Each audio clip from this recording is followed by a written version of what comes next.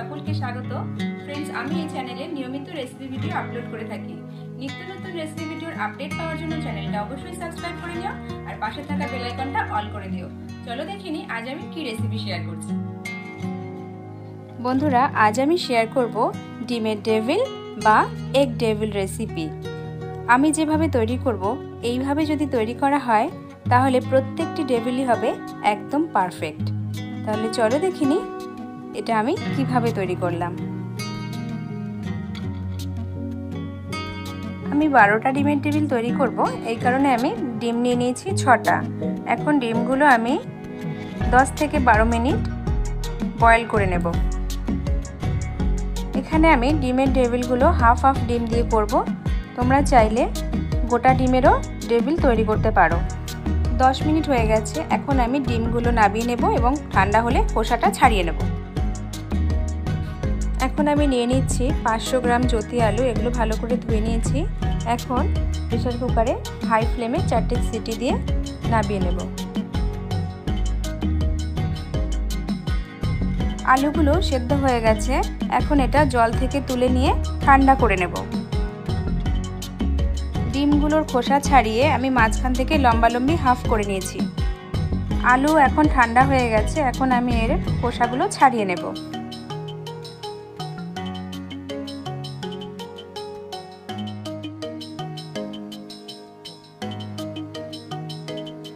আলুর খোসা ছাড়ানো হয়ে গেলে আলুগুলো ভালো করে হাত দিয়ে স্ম্যাশ করে নেব।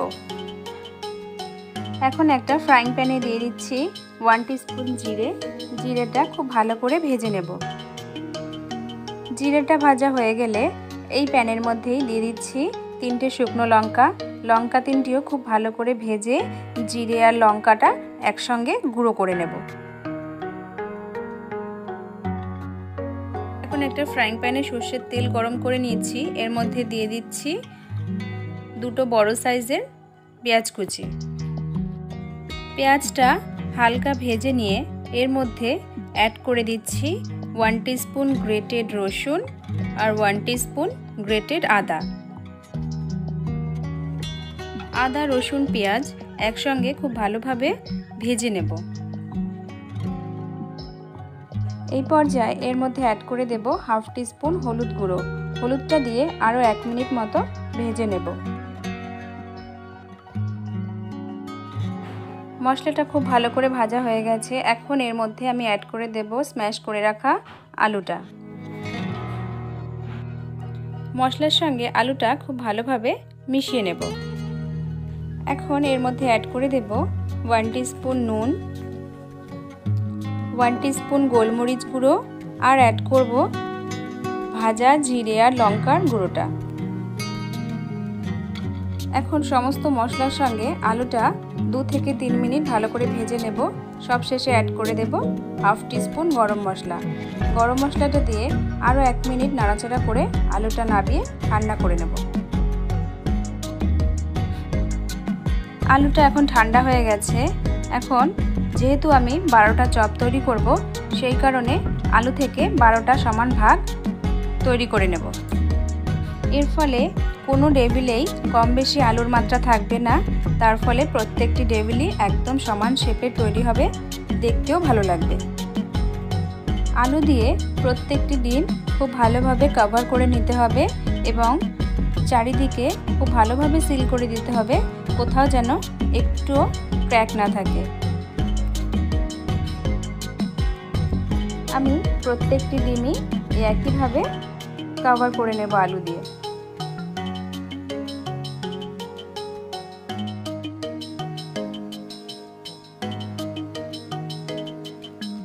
আমার প্রত্যেকটি ডিমেই আলুর কোটিং করা হয়ে গেছে। প্রত্যেকটি শেপই একদম সমান হয়েছে। আমি এখানে নিয়ে নিয়েছি টোস্ট বিস্কুট। এগুলো ছোট ছোট টুকরো করে ভেঙে নেব। তারপরে মিক্সিতে গুঁড়ো করে নেব। আমার বিস্কুটের গুঁড়োটা তৈরি করা হয়ে গেছে। এখন এটা একটা প্লেটের মধ্যে ঢেলে নেব।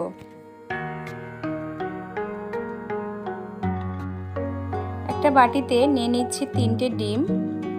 এর মধ্যে দিয়ে দেব পরিমাণ মতো নুন আর হাফ টিস্পুন গোলমরিচ গুঁড়ো। এখন ডিমটা ভালোভাবে ফেটিয়ে নেব।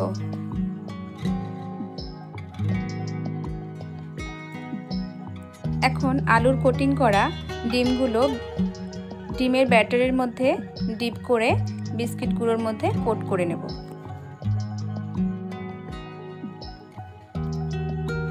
এখানে আমি প্রত্যেকটি ডিমই ডাবল কোট করে নেব। আবারও এটা ডিমের ব্যাটারের মধ্যে দিয়ে দেব।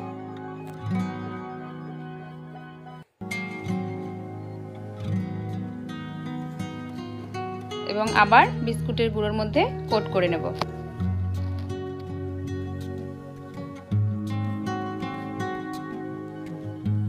একইভাবে আমি প্রত্যেকটি ডিম এইভাবে বিস্কিটের গুঁড়ো এবং ডিমের মধ্যে ডাবল কোট করে নেব।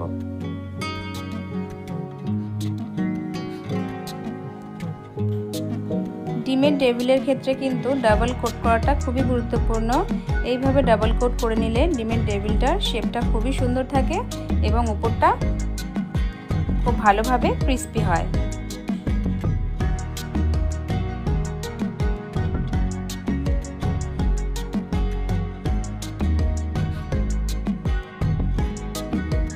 আমার প্রত্যেকটি টেবিলই বিস্কিট গুঁড়োতে কোটিং করা হয়ে গেছে। এখন আমি এটা সেট করার জন্য রেখে দেব 10 মিনিটের জন্য।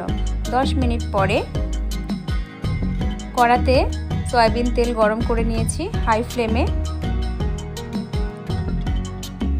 এখন এর মধ্যে একে একে আমি ডিমের টেবিলগুলো ডিপ ফ্রাই করে নেব হাই ফ্লেমে। দু মিনিট ফ্রাই করলেই কালারটা খুব সুন্দর আসবে। এর থেকে বেশি ফ্রাই করলে কালারটা কিন্তু খুব লাল হয়ে যাবে, দেখতে ভালো লাগবে না। আমি বাকি ড্রেভিলগুলো একইভাবে ফ্রাই করে নেব। বন্ধুরা, বাড়িতে গেস্ট আসলে কিংবা বিকেলে গরম গরম স্ন্যাক্স খেতে ইচ্ছা করলে বাড়িতেই তৈরি করে নিতে পারো দোকানের মতো সুস্বাদু ডিমের ডেভিল আজকের এই রেসিপিটা যদি ভালো লাগে, তাহলে ভিডিওটিতে একটা লাইক কিন্তু অবশ্যই করে দিও আর কমেন্ট বক্সে জানিয়ে দিও আজকের রেসিপিটা কেমন লাগল। আজ এ পর্যন্তই। আবারও দেখা হবে অন্য কোনো নতুন রেসিপি নিয়ে। ধন্যবাদ।